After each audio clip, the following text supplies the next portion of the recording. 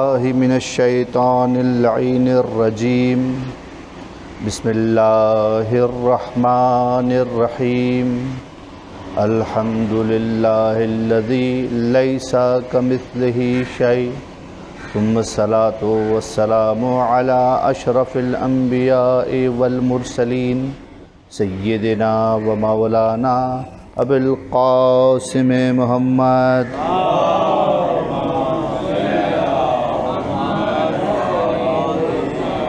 वह तयबीन ताहरीन अलमासूमीन अलमतजबीन अलमजलूमीन अल्ला सीमा बक़ीतम रूह व अरवाहमीन तराब मकदम हिलफ़िदा वल्लानुद्दामतो अला अदा मजमाइन मिन यौमना अला क़याम यौमद्दीन अम्माबाद फ़क़त काल्ला तबारक व ताली महकम किताब मजीद व मुतक़न कलाम मुबीन व कौलहक बसमीम व यकूलदीन कफ़रूलस्त मुरसला।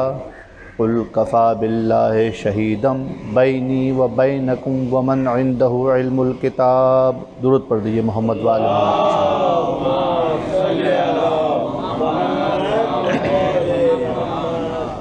सुरह मुबारक रात की आखिरी आयत आयत नंबर तेरालीस के ज़ेल में गुफ्तु हमारी चल रही थी। हामी रसूल के इनवान से। आयत में परवरदिगार आलम इरशाद फरमाता है कि वयकूलजीना कफ़रू लस्ता मुरसला। काफिर कहते हैं कि, तुम मुरसल नहीं हो। तुम अल्लाह के नुमाइंदे नहीं हो। तुम अल्लाह के पैगंबर नहीं हो। कुल, ए मोहम्मद, काफिरों के जवाब में तुम कह दो, कफ़ा बिल्ला है, शहीदा बैनी व बैन मेरे और तुम्हारे दरमियान अल्लाह की शहादत काफ़ी है, वमन और उस शख्स की कहा शहादत काफ़ी है, इंदहू इल्मुल किताब, जिसके पास किताब का मुकम्मल इल्म है, पूरा इल्म है, सारा के सारा इल्म जिसके पास मौजूद है। और हमने आपकी खिदमत में वो रिवायात नकल की कि जिसमें बयान किया गया हज़रत ख़त्म मरतबत के अल्फाजी के ज़रिए से कि कायनात में रसूल के बाद वो ज़ात फ़कत और फ़कत अली इब्न अबी तालिब की है। इस आयत के अंदर जो बात स्ट्रक्चर या सांचा बना हुआ है, वो इस तरीके से है कि रसूल की रसालत एक जानब है तो दूसरी जानब खुदा और अली की गवाही है। यानी कि अगर रसूल की रसालत ज़ेर सवाल जाती है। उस पर कोई एतराज़ करे तो खुदा और अली गवाही देंगे। सवाल ये बनता है कि अगर किसी मकाम पर अली की विलायत ज़ेर सवाल जाए तो कौन अली की विलायत की गवाही देगा? अगर रसूल की रसालत ज़ेर सवाल हो तो गवाही देने वाला खुदा और गवाही देने वाला रसूल। और अगर कोई अली की इमामत को, अली की विलायत को जेर सवाल लेकर आए और कहे कि हम नहीं मानते कि अली वली खुदा है, हम नहीं मानते कि अली खलीफा बिला वसल है, हम नहीं मानते कि अली वसी रसूल है। तो सवाल ये पैदा होता है कि अली की विलायत की गवाही देने के लिए कौन है? ये जो मुसलस तश्कील पा रहा है इस मुसलस को ज़रा गौर से देखिए। तो एक मरतबा जब रसालत जेर सवाल हो तो खुदा और अली गवाही देते हैं। तो विलायत जब भी जेर सवाल होगी तो खुदा और रसूल गवाही देंगे। और जब कभी जब कभी तोहीद को साए उमड़ने लगे और जब तोहीद जेर साया आ जाए तो एक तरफ़ से रसूल की गवाही होती है, एक तरफ़ से अली की गवाही होती है। इसका मतलब ये है कि ये तीन हस्तियाँ कि जिसमें से एक वाजिबुल वजूद है, दो मुमकिन वजूद है। एक वो है जो वजह तख्लीक कायनात है, एक वो है कि जिसका वर्जंद वजह बकाए कायनात है। ये तीनों की तीनों हस्तियाँ ऐसी हैं कि कायनात जिनके महवर के गिर्द घूम रही है, जब भी रसूल के बारे में कोई शक करे तो खुदा और अली गवाही देते हैं, और अली के बारे में कोई शक करे तो खुदा और रसूल गवाही देते हैं। इसीलिए अल्लाह के रसूल ने जा बजा।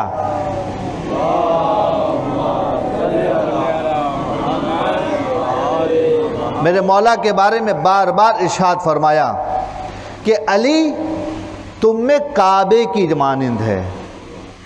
अली की हैसियत तुम्हारे दरमियान काबे की मानंद है। और काबे की हैसियत ये होती है कि मखलूक काबे के गिरद चक्कर लगाती है। काबा मरकज़ है, काबा महवर है। अली मरकज़ है, अली महवर है। अगर तोहीद तक पहुँचना है तो अली।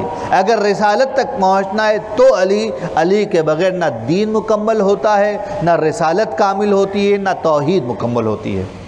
आपकी खिदमत में मैं अर्ज़ कर रहा था कि हामी रसूल ने किस तरीक़े से अपनी हिमायत का आगाज़ किया। दावत ज़िलाशिरा के बाद तबलीग कार शुरू हो गया। और एक मरतबा अल्लाह के रसूल को हुक्म मिला फसदा बेमा तो उमर जो तुम्हें हुक्म दिया गया है, उस पर डट जाओ। अब मुशरकिन से डरने का सवाल पैदा नहीं होता। तुम अपने पैगाम पहुंचाना शुरू करो। यहाँ अल्लाह के रसूल ने पैगाम पहुंचाना शुरू किया। वह मुशरक ने मक्का क्या तशद और जुल्म बढ़ता चला गया। अगर एक नमूना पेश कर दूँ नमूने के तौर पर कि किस तरीक़े से हज़रत ख़त्म मरतबत पर मक्का वालों ने जुल्म तशद किया तो इसकी मिसाल मिलती है कि एक मरतबा अल्लाह का रसूल ख़ातमनबीन खान काबा के सामने नमाज़ मशगूल है। अबू लहब ने नमाज़ के दौरान हज़रत ख़त्मी मरतबत पर इस तरीके से जूद कोप किया कि एक रस्सी लेकर आया, हज़रत के गले में डाली और उसको इतना ज़्यादा लपेटा, इतना लपेटा कि हज़रत का सांस रुकने लगा। लोगों ने आकर वहाँ पर रसूल को बच बचाव कराया ताकि ये जुल्म का सिलसिला रुक जाए। ये कोई आसान बात नहीं है। जो हम कह रहे हैं कि हज़रत अबू तालिब का खौफ था कि कुछ नहीं कर पाते थे। ऐसा नहीं है कि कुछ नहीं कर पाते थे। ये बहुत कुछ कर गुजरते थे। लेकिन इसके बावजूद भी हज़रत अबू तालिब का खौफ था जो उनको इंतहाई इकदाम करने से रोक रहा था। यहाँ तक कि बात इस मकाम तक पहुँची कि रसूल के हुक्म से कुछ लोगों को मक्के से बाहर निकाल दिया गया। और हिजरत ऊला तय पाई, जिसकी वजह से मक्का से बाहर मुसलमान पनपने लगे, जिसकी वजह से मक्कू, मक्के वालों को, क्रैश मक्का को खौफ हुआ कि अगर ये मक्का से बाहर मज़बूत हो गए तो ये मज़बूत होकर हम पर हमला करेंगे। हमें नुकसान पहुंचाएँगे। लिहाजा इनका कोई सद्देबाप किया जाए और एक मीटिंग हुई और इस मीटिंग में तफसीलात में जाए बगैर बहुत खुलासा करता हूँ। तय ये पाया कि हम इनका माशरती और माशी बाइकआउट करेंगे। माशरती बाइकआउट ये है कि अब बनी हाशिम को और बनी अब्दुल मुत्तलिब को ना कोई लड़की देगा, ना उनकी कोई लड़की लेगा। ना उनसे कोई ख़रीदो फरोख करेगा, ना उनको कुछ बेचेगा, ना उनको कुछ करे, ख़रीदेगा। मुखालफत किससे थी? खौफ किससे था? खौफ था मुसलमानों से। लेकिन सारी बिजली गिरी तो किस पे गिरी? बनु हाशिम पे गिरी। नतीजा ये हुआ कि उस घाटी में, कि जिसे हम कहते हैं शेब अबी तालिब, दो पहाड़ों के दरमियान का जो जगह है, उस जगह को अरबी ज़बान में शेब कहा जाता है। घाटी जिसे हम कहते हैं। उस घाटी में कुछ मकानात मौजूद थे। बनु हाशिम के मकानात वहाँ पर रहा करते थे। जब ये इकतसादी और माशरती बाइकआउट हुआ तो इन सबको वहाँ महदूद कर दिया गया। घाटी हमेशा, जो भी घाटी में रहने वाला है, वो हमेशा तहत नज़र है। जो पहाड़ पर रखा मौजूद है, वो देख रहा है। कोई भी नुकसान हो सकता है, पत्थर गिराया जा सकता है, दरख्त गिराए जा सकते हैं ये घाटी इस कदर ख़तरनाक किस्म की घाटी हुआ करती है, ऐसी ही थी। उस घाटी में रहने का नतीजा ये हुआ कि अब ये लोग, बनु हाशिम के लोग मक्का में नहीं जा पाते थे। महसूर हो गए थे। तीन साल तक ये सिलसिला रहा, जिसे हम कहते हैं कि ये अहल बैत, बनु हाशिम, वहाँ पर महसूर हो गए। खाने के लिए कुछ नहीं है।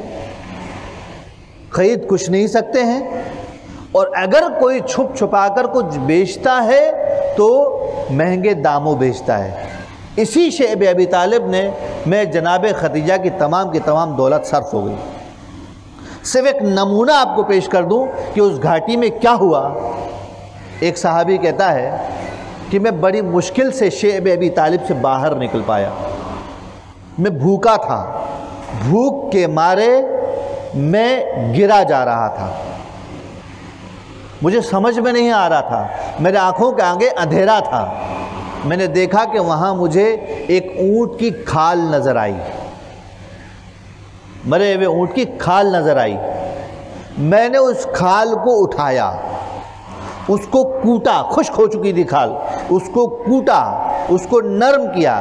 नरम करने के बाद उसे पानी से उबाला और उसके बाद तीन दिन तक उसे खाया। ये हालत थी शे अबी अबी तालिब में जो महसूर थे। ये तो गज़ाई मसाले थे, लेकिन खौफ का आलम यह था कि ये सुकून से, चैन से सो नहीं पाते थे। जनाब अबू तालिब जो पहले मरहले में हामी रसूल थे, वो रातों को उठ उठ कर आते और रसूल को सोते से बेदार करते कि भतीजे तुम उठ जाओ और उनकी जगह बदल देते। यहाँ नहीं, वहाँ सो। अब घाटी में रहने वाले लोग हैं।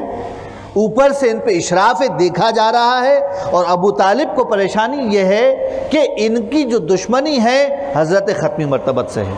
ये इनको चाहते हैं, अगर ये मिल जाए तो हमें छोड़ देंगे। लेकिन अबू तालिब हैं कि हज़रत ख़त्मी मरतबत की हिफाजत के लिए कोशा हैं यहाँ तक के जब रसूल को उठाकर उनका बिस्तर तब्दील किया जाता है कि एक मकाम से दूसरे मकाम पर चले जाओ तो अली से कहते हैं कि, बेटा अली, तुम रसूल के बिस्तर पर सो जाओ। शब हिजरत मेरा मौला जो उस मकाम पर सोया था, ये अबू तालिब ने, बाप ने बड़ी मश्क करवाई थी अली को। बाप की तरबियत समझ रहे हैं ना कि बाप आइंदा वक्तों के लिए तैयार करवा रहा है कि अली को बार बार, अली को बार बार अबू तालिब रसूल के बिस्तर पर सुलाते हैं। एक मरतबा अली ने कह दिया अबू तालिब से कि बाबा, मेरी जान को ख़तरा है। अबू तालिब ने कहा कि जान को ख़तरा है तो क्या हुआ? तो अली ने कहा कि बाबा, मैं शिकवा नहीं कर रहा हूँ। मैं शिकवा नहीं कर रहा हूँ। मैं आपको कह रहा हूँ कि आपकी इतात और हिफाजत रसूल के लिए अगर मुझे जान का ख़तरा भी हो तो मैं इसको मोल लेने के लिए तैयार हूँ। मैं जान कर सोता हूँ कि मुझे जान का ख़तरा है। मैं जान कर सोचता हूँ, मैं ना आशना नहीं हूँ, बल्कि मैं मारफत के साथ उस मकाम पर सोता हूँ कि मुझे मालूम है मेरी जान को ख़तरा है। अली से, अली और अबू तालिब के दरमियान गुफ्तु हो रही है। ये शेब अबी तालिब के दिन किसी तरह से गुजर रहे थे। यहाँ तक कि वो मरहला आ गया कि अपने तो अपने दुश्मनों के दिल भी पसीज गए। मुशरकी ने मक्का में से कुछ लोगों ने एक कैंपेन शुरू की। और लगता है ऐसा है तारीख़ के मुताले से कि इस कैंपेन के पीछे भी हज़रत अबू तालिब का हाथ है। जिस तरीके से इस कैंपेन के नतीजे जो वाक़ पेश आया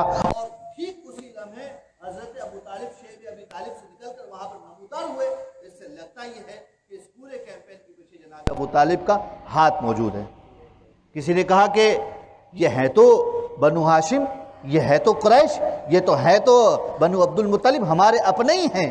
कब तक हम उन्हें भूख और प्यास में मरता देखेंगे?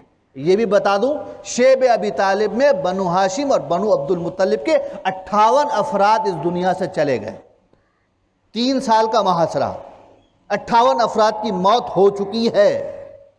किसी ने कहा कि कब तक हम बर्दाश्त करेंगे। एक ने दूसरे से बात की, दूसरे ने तीसरे से बात की, यहाँ तक कि पाँच छः अफराद एक जगह जमा हो गए। लेकिन जमा हुए तो जाकर जब गुफ्तु शुरू की कि इन्हें यहाँ से आज़ाद किया जाए, ये महासरा ख़त्म किया जाए तो अबू लहब ने बढ़ कर कहा कि नहीं, जब तक ये मोहम्मद को हमारे हवाले नहीं करते, हम ये महासरा नहीं छोड़ेंगे, ये गुफ्तु चल रही थी। इस गुफ्तु के दौरान हज़रत अबू तालिब शे अब अबी तालिब से निकल कर बरामद हुए और पहुँचे। देखो भाई, मेरे भतीजे के पास वही आई है, क्योंकि हज़रत ख़त्मी मरतबत का नारा ये था कि परवरदिगार का नुमाइंदा हूँ, मेरे पास वही आती है, पैगाम आता है, गैब की खबरें आती हैं। उसके पास वही आई है। वो ये कहता है कि तुमने जो आपस में माहिदा कर रखा था उस माहिदे को दीमत चाट चुकी है। उसमें से कुछ नहीं बचा सिवाय नाम खुदा के। मेरा भतीजा ये कहता है, तुम जाकर चेक कर लो। अगर अगर ऐसा ना हुआ तो मोहम्मद तुम्हारे हवाले कर दूँगा। और अगर ऐसा है तो तुम मुहासरा खत्म कर दो। अगर ऐसा ना हुआ तो मोहम्मद तुम्हारे हवाले और अगर ऐसा हुआ, खबर सच्ची हुई तो तुम मुहासरा ख़त्म कर दो। इस दौराहे पर ले जाकर जनाब अबू तालिब ने खड़ा कर दिया कि अब कुरैश मक्का में बहस शुरू हो गई। यहाँ तक कि मजबूरन अबू लहब और अबू जहल जैसे लोगों को मानना पड़ा कि ठीक है, हम जाकर देख लेते हैं। अब वो सुलहनामा जो माहिदा था, उसको खोला गया तो उसको दीमत चाक चुकी थी। जो बताया गया था कि उसके अंदर फ़कत और फ़कत नाम खुदा बाकी रह गया था, सब कुछ ख़त्म हो गया था, वैसा ही निकला। ज़रूरत पड़ी मोहम्मद वाले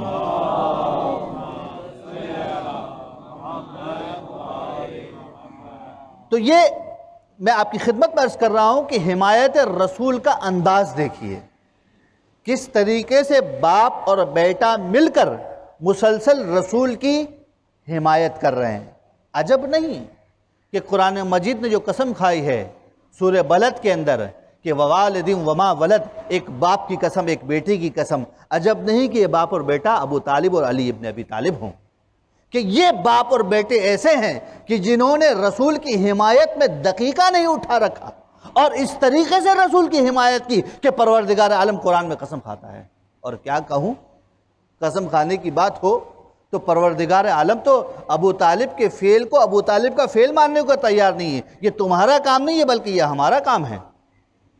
आपके सामने वो आयात होंगी जिसके अंदर इशात फरमाया गया, अलम यजिद का यतीमन फ़ावा क्या हमने तुम्हें यतीम पाकर तुम्हारी तुम तरबियत नहीं की, तुम्हारी परवरिश नहीं की क्या आसमान से खुदा परवरिश करने आया था या अबू तालिब ने परवरिश की थी? अगर परवरिश अबू तालिब ने की थी तो खुदा क्यों कह रहा है कि अलम यजिद का यतीमन फ़ावा क्या हमने तुम्हें यतीम पाकर तुम्हारी परवरिश नहीं की? इसका मतलब यह है, खुदावंद मुताल को अबू तालिब का ये फिर इतना पसंद आया, इतना पसंद आया, बिल्कुल वही अंदाज है जब रसूल से खुदा ने कहा कि वबार रमैता इस रमैता ये रसूल, जब तुमने कंकर मारा तो तुमने नहीं मारा। वलाकिन अल्लाह रमा, अल्लाह ताला ने वो कंकर मारा। और अबू तालिब के बारे में गोया ये कह रहा है, ए अबू तालिब, तुमने मोहम्मद की परवरिश की तो तुमने परवरिश नहीं की, बल्कि खुदा ने परवरिश की।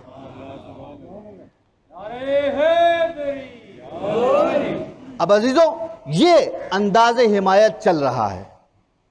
लेकिन कब तक अबू तालिब की बूढ़ी हड्डियाँ कब तक हिमायत करें? और शेब अबी तालिब ने जहाँ बहुत नुकसान किया तो शेब अबी तालिब के बाद रसूल से दो हस्तियाँ जुदा हो गई। जनाब खतीजा, उनकी हिमायत गई। जनाब अबू तालिब, उनकी हिमायत गई। लेकिन अब भी मक्का में एक हामी रसूल मौजूद है।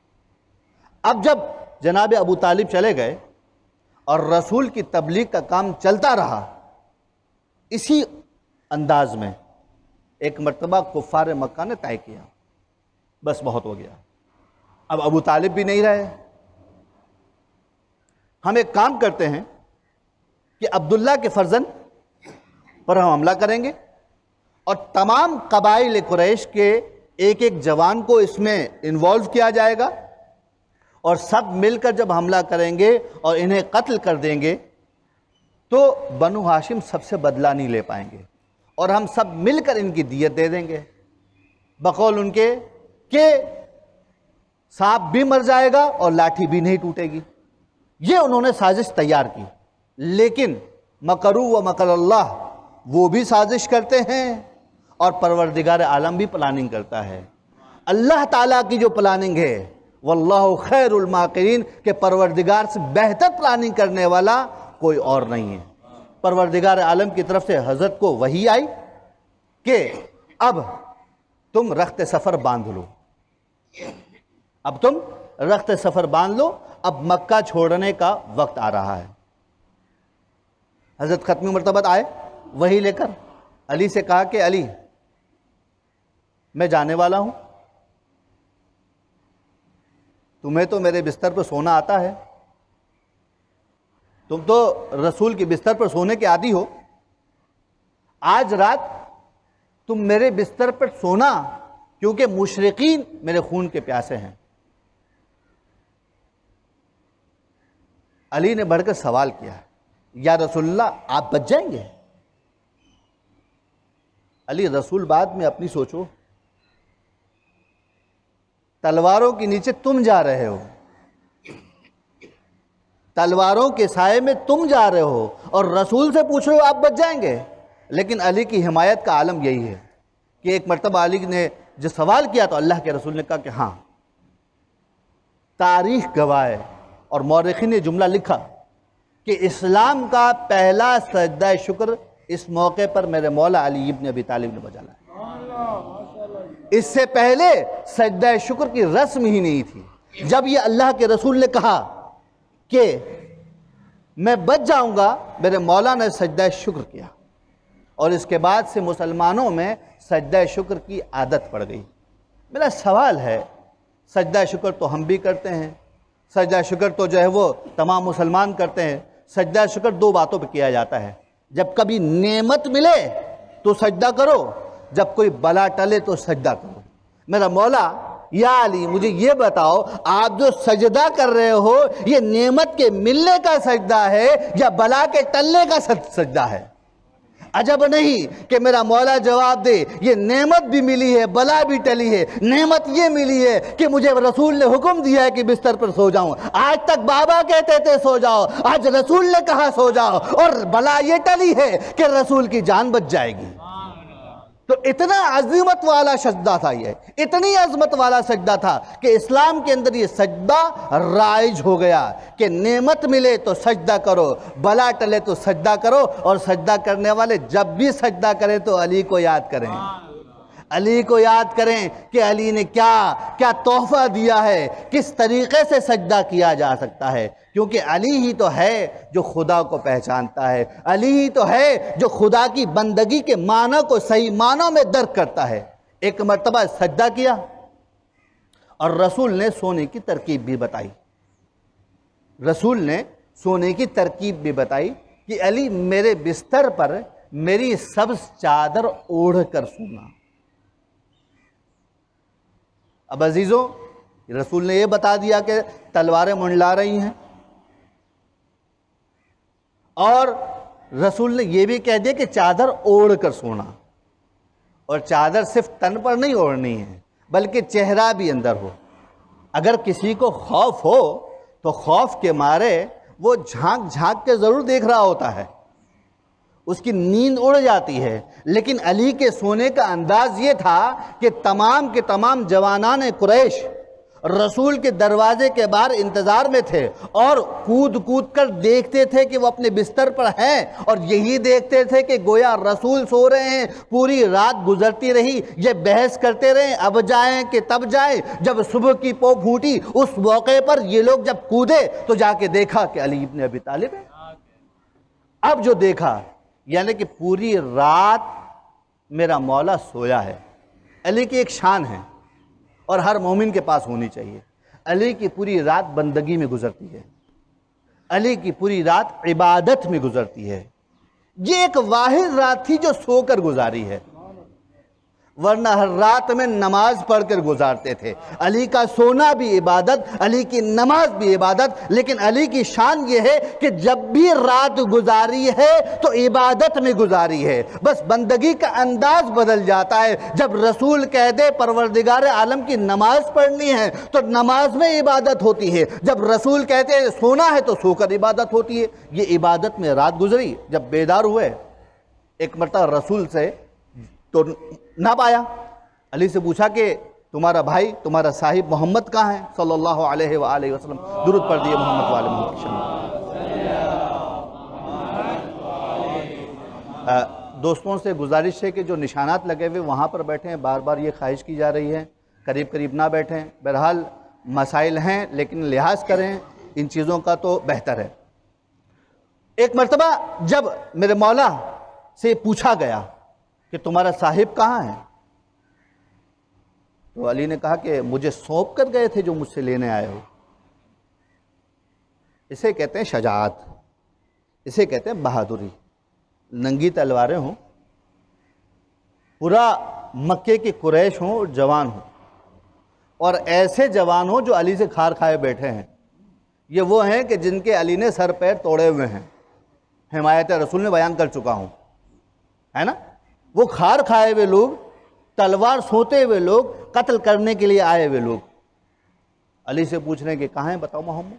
अली कहते हैं कि मुझे सौंप कर गए थे जो मुझे बताऊँ अब यहाँ तक ये माजरा हो गया, रात के पहर में मेरा रसूल निकल गया था। लेकिन रसूल खुदा ने सफ़र को गार सूर तक महदूद रखा और वहीं महसूर रहे। और हिजरत रसूल ने शुरू कर दी थी अकेले, लेकिन मुकम्मल अकेले नहीं की। मक्का छोड़ा रसूल ने तनहा, लेकिन मक्का से जब निकले थे तो तनहा थे, मदीना पहुँचे तो अली के साथ थे। इसे कहते हैं रफाकत, इसे कहते हैं हिमायत, कि रसूल को अली से वो मोहब्बत है कि यहाँ से निकलने के बाद भी एक मंजिल पर पड़ाव डाला और तीन दिन तक अली का इंतज़ार किया। तो अली तीन दिन तक कर क्या रहे थे? पूरा कुरैश रसूल का दुश्मन है, कत्ल के दर पे हैं। और इससे पहले माजरा ये हो चुका है कि मुसलमान हिजरत करके मदीना जाना शुरू हो चुके हैं। पूरे मक्का में दो तीन के अलावा कोई मुसलमान नहीं बचा है। ये माजरा चल रहा है और अली को रसूल खुदा ने हुक्म दे रखा है कि, अली, जब मैं चला जाऊँ तो तुम्हें दो काम करने हैं। मेरी जो अमानतें हैं, वो सब पलटा देना। मेरी अमानतें जो हैं, वो सब पलटा देना और फ़वातिम सलास को लेकर फ़ला मंजिल पर आ जाना। फ़वातिम सलास तीन खवातीन, तीनों के नाम फ़ातिमा। उसमें एक फ़ातिमा बिनते असद, अली की वालिदा, एक फ़ातिमा बिनते मोहम्मद, हज़रत ख़त्म मरतब अलैहि की अकलौती दुख्तर, जनाब सैदा और एक और फ़ातिमा। इनको लेकर आपने आना है। आपने सुन लिया?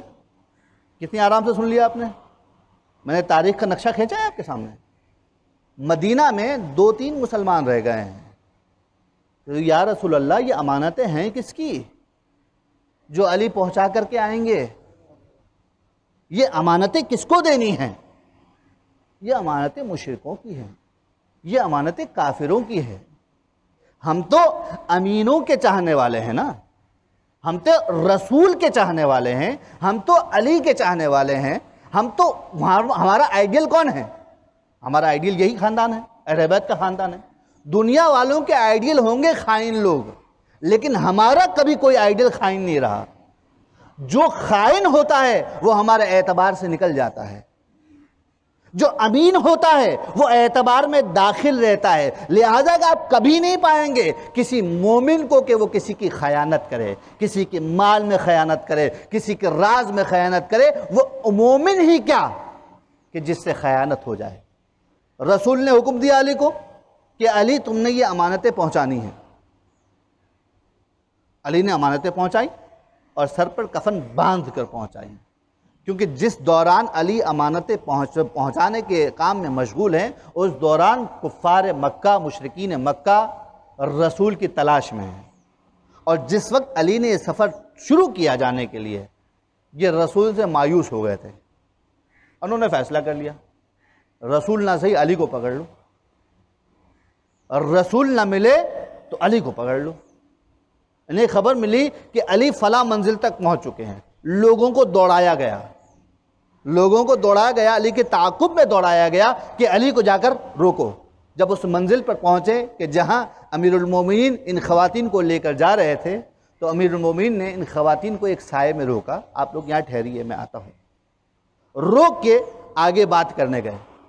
और गुफ्तु के दौरान जो बातें हुई, वापस जब आए तो पीछे एक लाशा पड़ा हुआ था। और इसके बाद किसी को रोकने की ज़रूरत नहीं हुई कि अली का रास्ता रोक सके। यह है मेरे मौला अली इब्न अबी तालिब की शजात और हिमायत। दुरुत पढ़ मोहम्मद वाले मोहम्मद की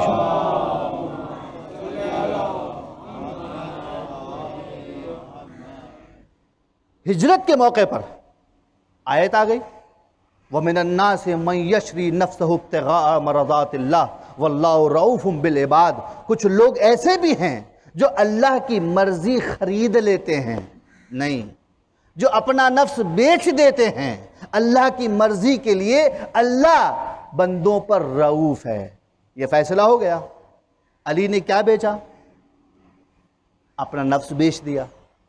इसके बाद से तारीख गवाह है कि जब भी तस्करा हुआ तो खुदा ने कहा, अली निशानुल्लाह है। अली यदुल्ला है। अली ऐनुल्ला है, अली वजहुल्ला है, अली जम्बुल्ला है, अली असदुल्ला है। अली के चीज़ के बारे में जब भी तस्करा हुआ तो खुदा ने कहा कि ये मेरी आँख है, ये मेरा चेहरा है, ये मेरा हाथ है, ये मेरा जम है, ये मेरा असद है, ये मेरा शेर है बार बार खुदा कहता रहा। जब खुदा ने हर चीज़ अपनी तरफ़ मंसूब कर ली, जब कुछ ना बचा तो आखिर में ये कह दिया, अली नफ्स रसूल है। क्योंकि अली ने तो खुद को बेच दिया है। जो चीज़ परवरदिगार आलम की ज़ात खुद की तरफ़ मंसूब कर सकती थी, हर चीज़ अली की तरफ़ गई। अली को खुदा नफसे खुदा नहीं कह सकता, क्योंकि अली खुदा नहीं हो सकता। लिहाजा अली के बारे में आयत आ गई कि ये नफ्स रसूल है। लिहाजा जिसने अपने आप को शब हिजरत बेचा तो वो ऐसा बिका ऐसा बिका कि, ऐसा बिका कि उसकी हर चीज़ अल्लाह से मंसूब हो गई। कभी वो यदुल्लाह बना, कभी वो आइनुल्लाह बना, कभी वो वजहुल्लाह बना, कभी वो असदुल्लाह बना, कभी वो जम्बुल्लाह बना। एक एक अर्ज़ के लिए अल्लाह की तरफ़ नस्बत पाता चला गया। जो आखिर में नफ्स बचा तो वह नफ्स रसूल बन रह गया। दुरुद पढ़ दिए मोहम्मद वाले मोहम्मद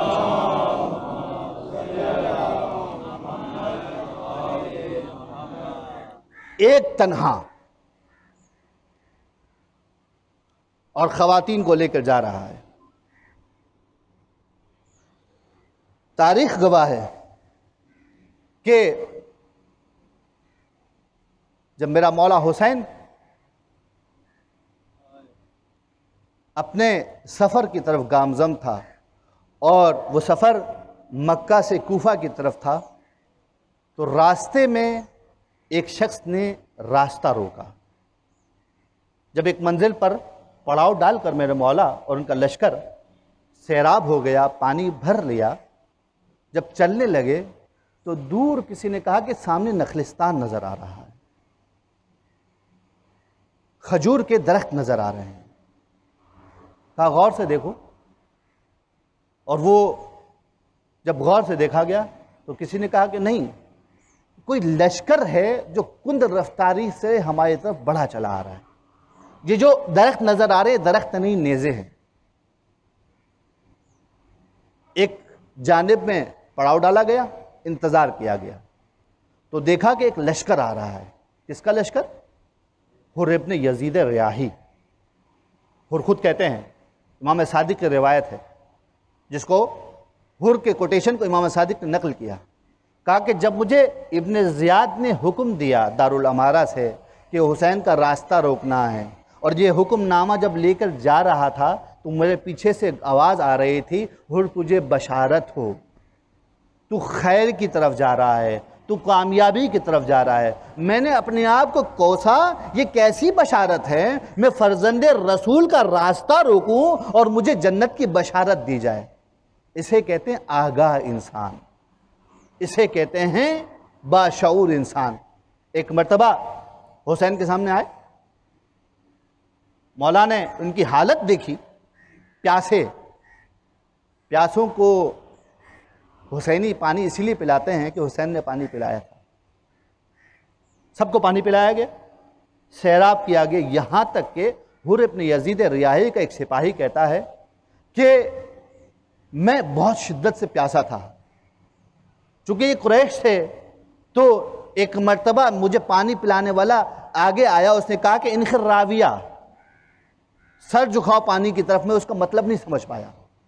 मैं परेशान था क्या करूँ? एक मतलब हुसैन खुद खड़े हुए और अपनी जगह से आने के बाद मेरे जानवर को पानी पिलाया। इस तरीके से सैराब किया गया। जब सब सैराब हो गए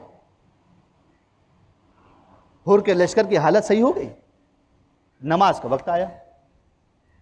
तो मेरे मौला ने कहा कि हुर तुम जाओ अपने सिपाहियों के नम, साथ नमाज़ पढ़ लो। हम अपने लोगों के साथ नमाज़ पढ़ लेते हैं। उन्होंने कहा कि जब फर्जंद रसूल हो तो हुर इमाम नमाज़ बने कैसे हो सकता है? आपके साथ नमाज़ पढ़ेंगे यह है शाऊर। यह है निशानी उस फैम फरासत की के अंदर एक ज़िंदा इंसान मौजूद है। हुसैन के साथ नमाज़ पढ़ी? नमाज़ ख़त्म हो गई। जब मौला हुसैन चलने लगे तो एक मरतबा हुर ने बढ़कर लजा में फरस में हाथ डाल दिया। कहाँ जाते हो? मेरा मौला ने जब ये हुर का अंदाज देखा तो एक मरतबा कहा कि, हुर, तेरी माँ तेरे मातम में बैठे एक मरतबा हुर ने अपनी माँ का तस्करा सुना तो हुसैन से कहने लगे, अगर कोई और अरब मुझसे जुमला कहता तो पलट कर मैं भी उसे जुमला कहता। मैं क्या करूँ कि आपकी माँ फातिमा ज़ायरा है? यह शूर इतना शूर हो, इतनी मारफत हो तो क्यों गमराही में रहेगा? रास्ता ज़रूर रोका पहला गुनहगार ज़रूर है, लेकिन अंजाम इसका बाजमत है। हुर की दास्तान मेरी दास्तान है। हुर की दास्तान आपकी दास्तान है। क्योंकि हम सब गुनाहों में आलूदा हैं। हम सब के लिए हुर एक नमूना है। बस अजीज़ों, हुर की दास्तान आ गई। यहाँ तक के ये असीर काफिला, ये महसूर काफिला करबला पहुँच गया। करबला की दो मुहर्रम से लेकर नौ मुहर्रम तक हुड इसी उड़े गुण में रहा कि क्या करूँ और क्या ना करूँ। यहाँ तक कि शब आशूर भी आ गई। अब हुड नहर फरात के गिर पहरा दे रहा है, पानी को बहता हुआ देख रहा है और इसे कानों में आवाज़ आ रही है अल अतश अल अतश उन आवाज़ों के ऊपर कुछ और आवाज़ें गालिब हैं। आवाज़ें हैं ज़िक्र खुदा की। सुबूहन कुद्दूसन सुबूहन कुद्दूसन। वहाँ लश्कर हुसैनी इबादत परवरदिगार आलम में मशगूल है। वहाँ छोटे छोटे मासूम बच्चे प्यास से बिलक रहे हैं। इस बिलकते हुए आलम में हुर से बर्दाश्त न हो पाया। यहाँ तक कि सुबह का जब हंगाम आया तो एक मरतबा हुर अपने आप को हुसैन की बारगाह में पहुँचा दिया। और पहुँचाने के बाद सर झुकाकर इस तरीके से आया कि अपना सर नहीं दिखा पा रहा था। मौला हुसैन के सामने आकर सर रख दिया और कहा कि, क्या मौला, मुझ गुनहगार की भी बख्शिश मुमकिन है? कहा, लगता है कि तुम गुनहगारों पर हो कौन? अपना चेहरा तो दिखाओ। अब जो हुर ने अपना चेहरा दिखाया तो मेरे मौला ने हुर को अपने पास कबूल किया, हुर, तुम्हारी तुम्हारी तौबा कबूल हुई अजीजो।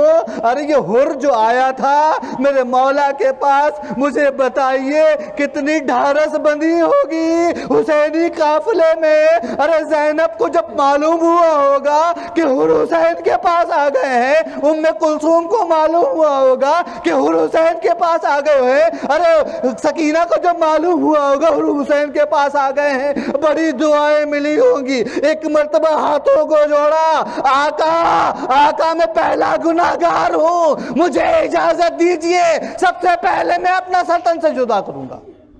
हुर ने इजाज़त ली। बस आखिरी जुमले सुन लीजिए। इस मुसीबत को सुनते जाइए। हुर ने इजाज़त ली। एक मरतबा। हुर सर से ज़मीन, जीन से ज़मीन पर आया। अरे असाब हुर को लेकर आए। आखिरी जुमला सुन लीजिए। हुर ने आकर हुसैन की गोद में दम तोड़ा। अरे हुसैन ने माँ फातिमा का रुमाल हुर के सर पर बाँध लिया। अरे हुर माँ फातिमा के सामने जब आओगे, इस रुमाल को पेश कर देना। अरे ये रुमाल, अरे नादिम है आका में गुनाहगार, आका में गुनाहगार, आका मुझे माफ़ कर लिए। अजब नहीं, तारीख बयान करे। इसी वजह से और बड़ी दूर दफन हुए।